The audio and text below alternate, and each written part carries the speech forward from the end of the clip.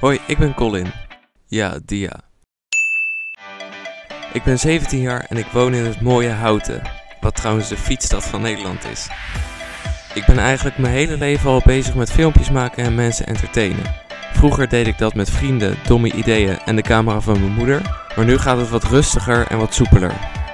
Verder hou ik ervan om op avontuur uit te gaan met de meest idiote en domme ideeën.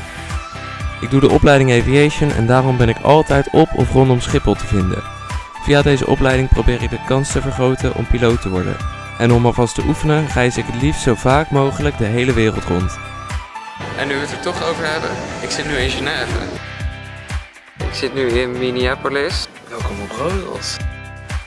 Verder pruts ik maar wat aan en zie ik wel wat er op mijn pad komt. En tot nu toe lukt dat aardig goed. Tja, verder weet ik niet zoveel om over mezelf te vertellen. Dus eh, hier zijn wat random beelden.